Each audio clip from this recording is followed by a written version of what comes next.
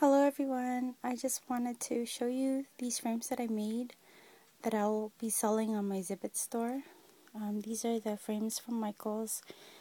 It's got the stamp um, corners and I added bling to the corners and I used um, these paper flowers. There's two different colors and I also used the same stamp for the bottom corners and added a more bling to it.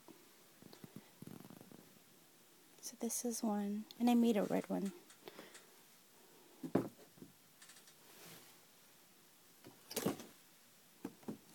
Here's this one. The roses are a little bit bigger than the pink ones, and I use a different um, stamp for the corners. I added the rose. The roses on the bottom corners, and also some bling. So check out the store www.zibbet.com slash simple creations. Hope you guys like them.